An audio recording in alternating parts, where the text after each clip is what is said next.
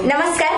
Prime time कुर्लामध्ये आपलं स्वागत. आज आपल्यासोबत आहे महाराष्ट्र नवनिर्माण सेनेचे मुंबईमधून निवडून आलेले एकमेव नगरसेवक संजय तुर्बे नमस्कार सर नमस्कार.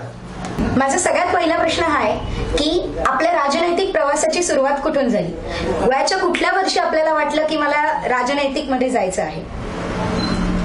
वयाच्या चाळीसव्या वर्षी असं वाटलं मला समाजसेवेमध्ये जायचं आहे पण न कळत मी राजकारणामध्ये आलो. आणि मला लोकांनी स्वीकारलं. आणि खरोखर ज्या वेळेस साहेबांनी मला दोन हजार बारामध्ये तिकीट दिले त्यावेळेस मी पहिल्यांदा निवडणूक लढवली. आमच्या परिवारामध्ये अजूनपर्यंत कोणी निवडणूक लढवली नव्हती.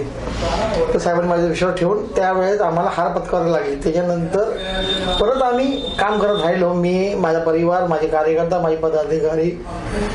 इथून असा प्रवास सुरू झाला आमचा.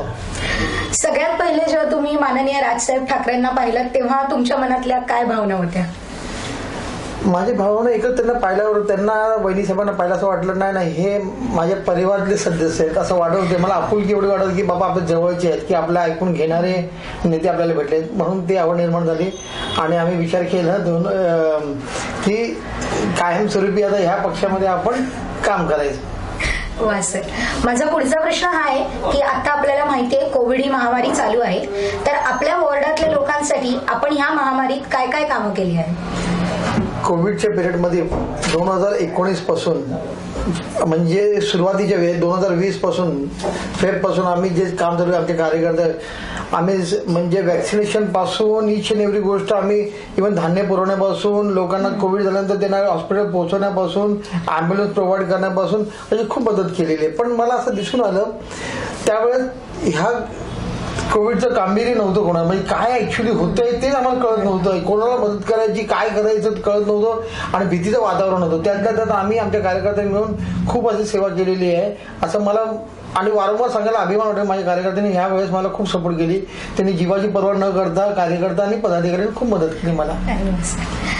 सर आपल्याला माहितीच आहे की आजकाल कसं राजकारण चालू आहे. आपल्याला दुसऱ्या पक्षातही सामील होण्याची ऑफर आलेली पण ती आपण रिजेक्ट केली तर ह्या सगळ्या राजकारणाबद्दल आपलं काय मत आहे? तुम्हाला अगोदर मी प्रश्नाचं उत्तर दिलं होतं. ज्यावेळेस मी साहेबांना आणि वहिनीला पाहिलं होतं तेव्हाच मला वाटलं होतं की मला काही आता मागे पुढे बघायचं. कारण मला व्यावसायिक आम्ही व्यवस्थित आहोत. असा नाहीये की व्यवसाय नाही आमचा. व्यवसाय चाललाय. आमचं रोजीरोटी चाललेली व्यवस्थित. आणि हा आमचा मार्ग नाहीये की आमचं ब्रेड अँड बटर नाहीये. पक्ष म्हणजे किंवा इलेक्शन लढणं वगैरे. त्या हिशोबाने विचार केला. हे सर्व आम्हाला ऑफर आल्या. पण मी विचारायला हे माझ्या मनालाच पडत नव्हते या सर्व गोष्टी. त्यावेळेस मी साहेबांना सांगितलं असं असं घडतंय. आणि ते घडलं. तुमच्यासमोर आहे. पण आम्ही विचार केला ह्या म्हणजे कधी असं कुठे न डगमगता आपण कधीही आपल्याला आलं दिले देण्यात आली तर आपण त्याचं स्वीकारायचं नाही. बरोबर आहे सर. माझा शेवटचा प्रश्न फक्त एवढा आहे की आमच्या प्राईम टाईमच्या दर्शकांसाठी तुम्ही काय सांगू इच्छिता?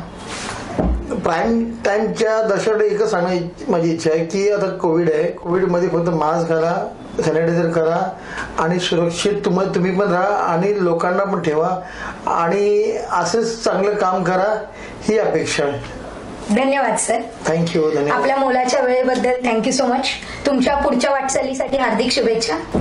कॅमेरामॅन प्रशांत पवारसह सायलिओ प्राईम टाइम कुर्ला.